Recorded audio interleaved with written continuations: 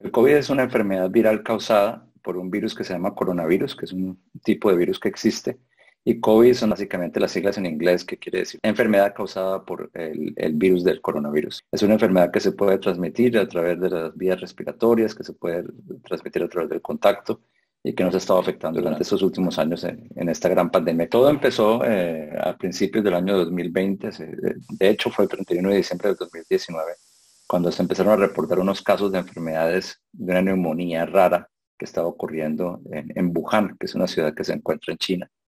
Y se empezaron a reportar, no se sabía de dónde venían, qué era lo que lo estaba causando.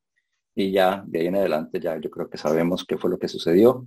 Esto estaba ocurriendo en Wuhan, ha ido ocurriendo en básicamente todas partes del mundo y ha seguido afectando a las personas, ha causado muchísimas muertes, ha causado muchísimas infecciones, muchísimas eh, repercusiones que ha tenido que no solamente son en el ámbito de salud, sino que también afectan la economía, la salud mental, el aspecto social, la libertad, etcétera.